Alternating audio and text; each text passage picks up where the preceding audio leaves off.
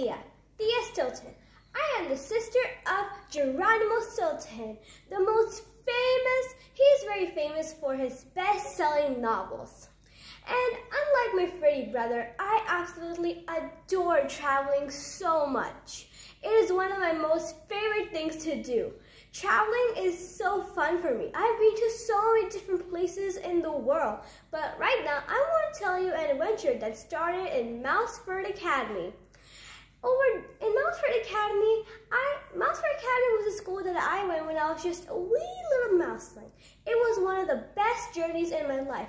I had such a great experience there. It was so good.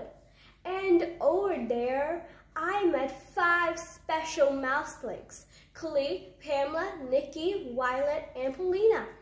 And I called them my star students, but they called themselves the Thea Sisters.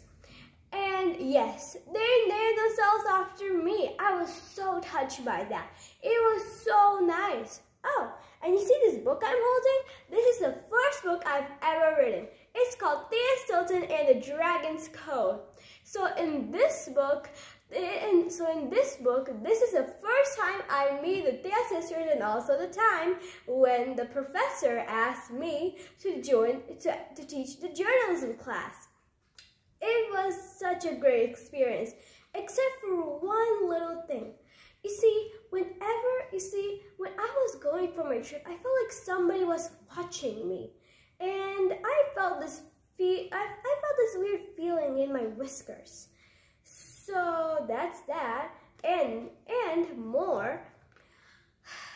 You know, in the janitor's closet, when we went over there to find the lunchroom, but we got lost, it was weird. There was a secret, we had to find secret codes to enter a secret room and, and, and the Thea sisters helped me find those secret codes. But when we found the secret room, it was so crazy over there.